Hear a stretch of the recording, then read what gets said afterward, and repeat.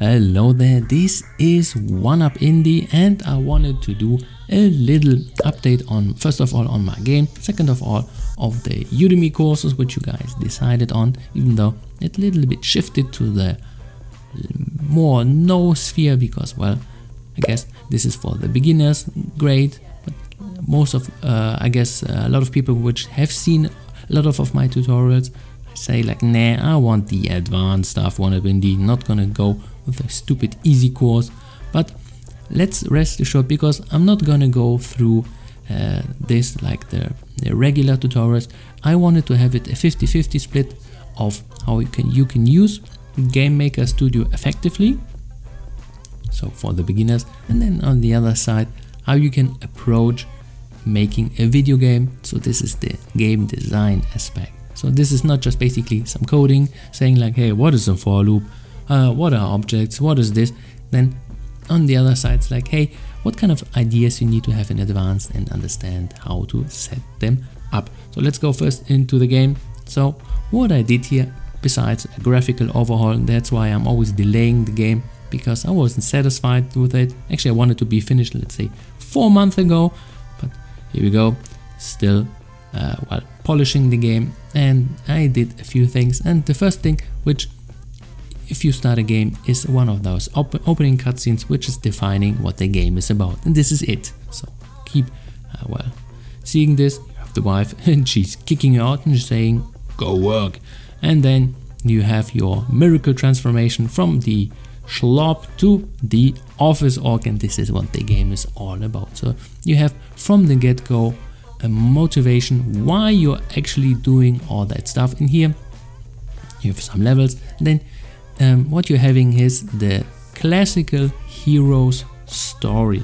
And this is a thing, for example, if you have seen the new Star Wars movies and you actually like the storylines, yeah, then you won't be having a lot of fun with this game because here you start from small, you have some, uh, well, let's say it, uh, some problems, some hindrances, but you overcome them and you become stronger and better in the end. And this is what you don't have in the new Star Wars movies.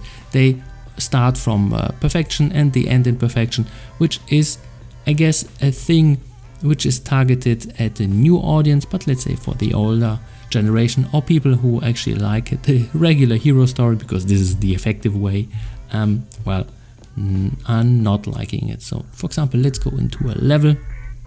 Here I did some extra additions as well, where I put in some creeps because I had from the community they said like hey the game is okay but it's lacking some extra stuff to do. And for example if you're just sorting then you are maybe very hyper reactive because you play let's say League of Legends or some other uh, very twitchy games or Fortnite or god knows what.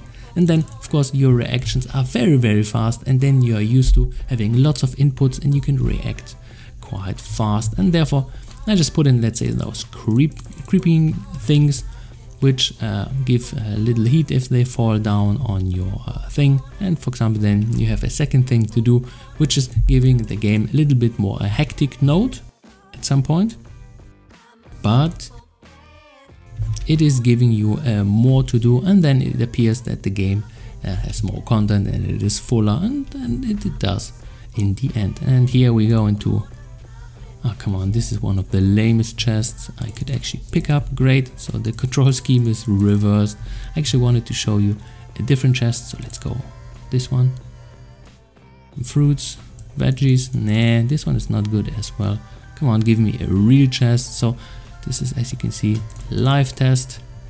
I wanted, and I failed because I guess the time ran out. So these are the things and this is a thing which I've, uh, I guess it's quite important to understand that you need to give the player instinctively the motivation uh, to understand what the game is all about very very quickly. And then they can jump to well into the game. And then they understand hey what am I doing and why am I doing? So here now we come to the second part. This is not about office orc. This is about the channel the Udemy course.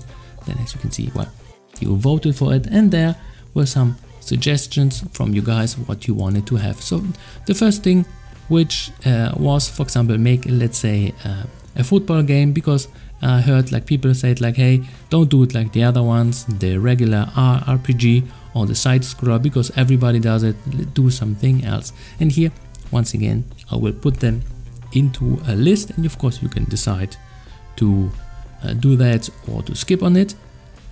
And then of course, uh, as democracy rules here, um, you can decide what you want to have. So I will, uh, well, do the course on the kind of prototype which we are building in the end because this is not a full game.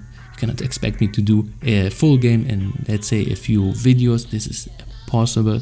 Games are highly complex and long, long, long, long, long, long things on which you are working on and a lot of times in teams even though. So the first idea was something let's say like a top-down football game which is Sensible Soccer 2020. Oh, there's actually a new one, cool. So something like this would be in so a sport game. Then something like Diablo 2 came up. You're not gonna copy that because that game is highly complex. There are lots of lots of lots of things going on here. But let's say a top-down RPG would be then uh, kind of ish Diablo 2 clone. Then a fun thing which is a beat 'em up side scroller. This is pretty cool. So here you would be having some combo systems and so on. Um, not too difficult to copy and of course this style is uh, easy to do so that would be another thing I could actually do as the for the for the beginners as a course because that genre is still quite popular and then a survival game which is most of the time a top-down game like I don't know Harvest Moon or Forager and uh, a ground yeah a ground. That is a game which you basically um, gather most of the time resources and resources and this is kind of the addicting part of it. You're just gathering stuff to enhance your character and sometimes your base uh, or your weapons and god knows what. And then most of the time you're just gathering resources. So basically you're a, a miner a farmer a crafter god knows what. And then fighting becomes just a, a secondary thing. But here I would do that as a top-down game. And then the Metroidvania. So if you are not sure what Metroidvania is, this is basically, uh, ah, here we go, um, a mix between the good old uh, Metroid games and then uh, this one was one of the newer Castlevania games which was released on, what was the first? I guess it was on the PlayStation, which combined uh, the old Castlevania games and the old Metroidvania games, combined them together into a beautiful blend which is a genre which has a lot of lot of potential and therefore I love it. It is just basically exploration, then a leveling system, then this very famous Metroidvania map. Can I find one Metroidvania map? Of course I cannot if I'm looking for it. Damn. But here, this genre is pretty cool. Of course, once again, a prototype. Then I would give you the ideas how you can set up the, these systems and what you need to know in advance and how you can well do that stuff and of course here Metroidvania is basically the leveling system, exploration and then new abilities which unlock new areas. This is the key component of this beautiful genre. And then the last one would be a stealth game, so something from a top-down or side-scroll of course, you can decide on that.